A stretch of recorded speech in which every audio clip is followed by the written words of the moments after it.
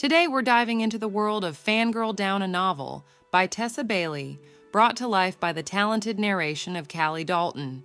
With a rating of 4.6 out of 5 stars from 130 reviewers, this Audible audiobook promises an engaging journey into the realm of sports romance. The story follows Wells Whitaker, once hailed as golf's rising star, now grappling with a faltering career and personal demons. Enter Josephine Doyle, his unwavering supporter who stands by him through thick and thin. When Wells hits rock bottom and Josephine begins to doubt her faith in him, a surprising turn of events leads to an unconventional partnership. As they embark on a journey to revitalize Wells' game, their dynamic evolves from fan and athlete to something deeper. Sparks fly as they spend days on the green and nights in close quarters, discovering unexpected sides to each other.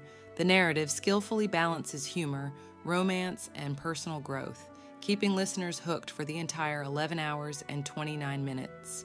Tessa Bailey's writing shines with vivid characters and heartfelt moments, while Callie Dalton's narration breathes life into every scene. Her delivery captures the nuances of emotion and tension, making each character distinct and memorable. Overall, Fangirl Down is a delightful romp through the world of sports romance, offering equal parts humor, heart, and sizzle.